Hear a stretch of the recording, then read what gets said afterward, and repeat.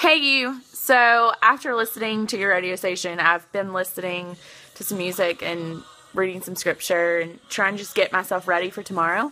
I was supposed to be out of town, but because we didn't go to the mountains due to weather, I'm home. And so, I've been trying to work on my lesson and whatnot. And I came across a piece of scripture that I thought maybe I would share with you. And then I just had a few words I wanted to say to you.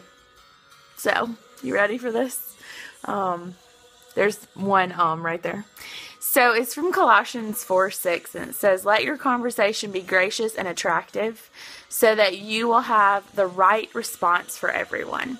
Can I just tell you that I am amazed when I listen to you on the radio, like how awesome you sound. And while you think that you're not that good, or you think, uh, whatever, this is just, you know, a crapshoot, I just want to let you know that like your thoughts are really good and they're very intentional and they're very impressive. And I'm so impressed with you.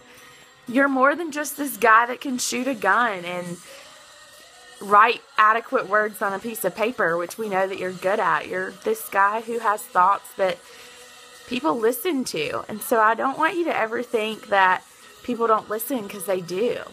And you have this ability to reach the masses, even though you don't believe it. I do. And my mother calls me the anointed one.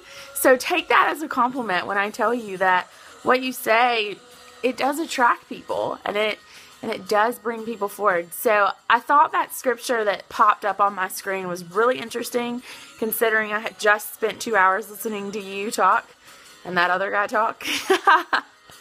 but just remember Colossians 4 6. Let your conversation be gracious and attractive, which I think you do. You're so gracious about the opportunities that you've been given, and you're also really attractive. so that you will have the right response for everyone. Hey, you're going to go places, son. Doesn't matter if it's shooting a gun or if it's on a radio station.